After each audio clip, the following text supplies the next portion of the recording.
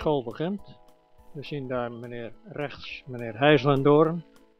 En de man met de hoed op, dat is meester van der Pas, die jarenlang aan deze school gewerkt heeft.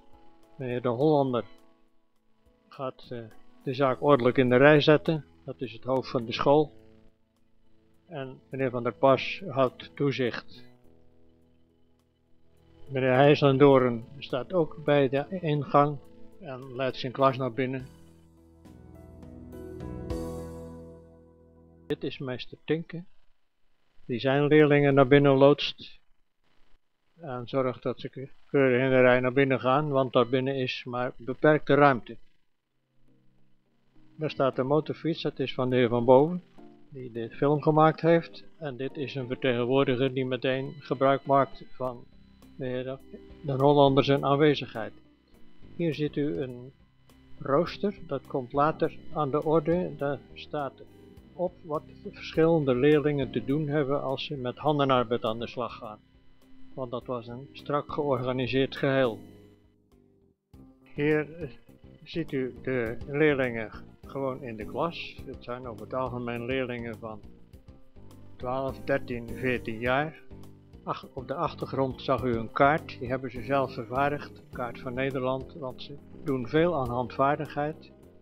Hier ziet u ze met klei bezig. Het is uh, de bedoeling om ze met zoveel mogelijk materialen kennis te laten maken en ze daar creatief mee te laten omgaan. En daar hebben ze dikwijls ook heel veel plezier in. Hier met figuurzagen voor de houtbewerking. En van dat hout maken ze gebruiksvoorwerpen, uh, lampjes, maar eerst moet het lokaal worden ingericht. En dat kwam omdat we geen speciaal lokaal voor handvaardigheid hadden. Het moest dus allemaal in het leslokaal gebeuren. En daarom zag u zo even dat bord met die rooster en al die namen erop. Elke leerling weet precies wat hij doen moet om dat lokaal zo snel mogelijk ingericht te krijgen.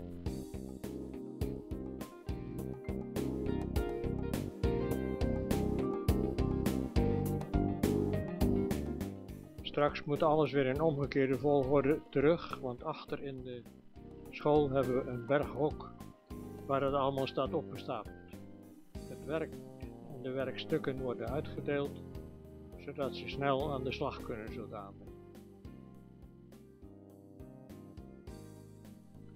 Hier zitten ze bezig met pitriet, een materiaal waar ze ook vaak mee werkten. Het, uh, daar maakten ze gebruiksvoorwerpen van, mandjes en, en bloemmandjes en dergelijke dingen.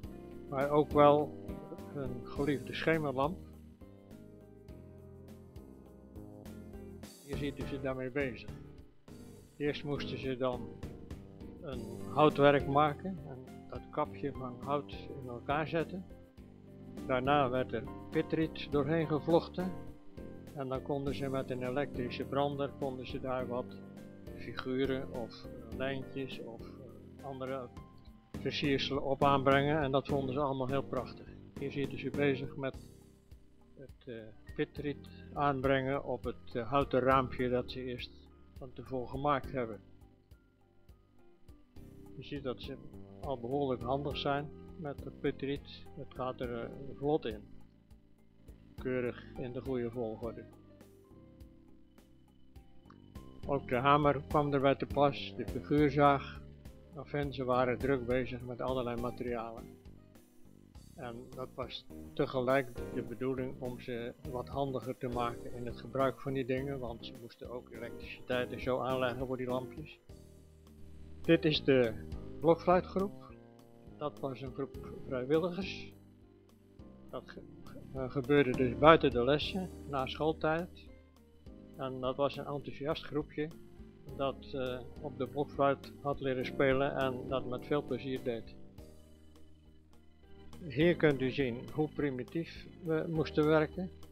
Ik geloof niet dat dat nu nog veel gaat voorkomen, dat eerst met een houten schot het lokaal verduisterd moet worden, want dit was de bedoeling om dat lokaal te verduisteren voor een filmvoorstelling.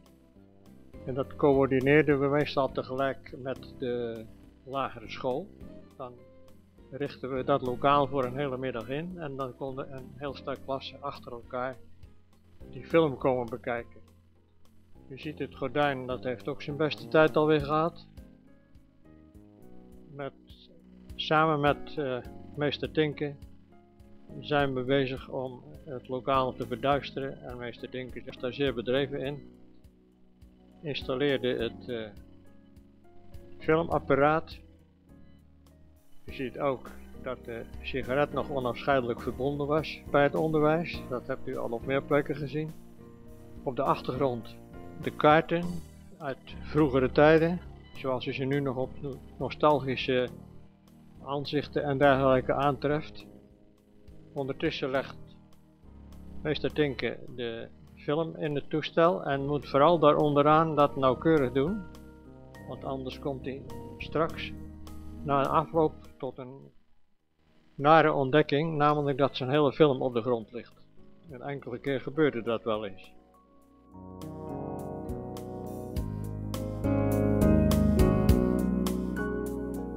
Meester Tenke is een boeiende verteller en hij weet heel goed de leerlingen daarmee bezig te houden. We kregen er altijd een handleiding bij, een boekje en daar konden we zelf dus commentaar bij de film geven, want gesproken films waren er nog niet in die tijd. Zeker niet voor de school.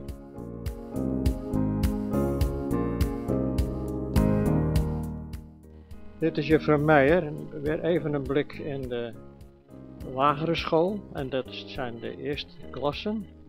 Zij heeft hele generaties lezen, schrijven en rekenen geleerd. En nu zit ze hier eh, heel ijverig bezig. Dat zijn nu de opa's en oma's die ik hier in Barendrecht wel tegenkom.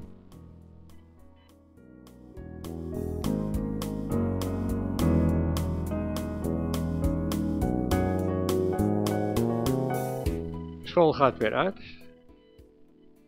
Dat moet goed begeleid worden. Meneer Hollander is meteen present om de zaak te regelen.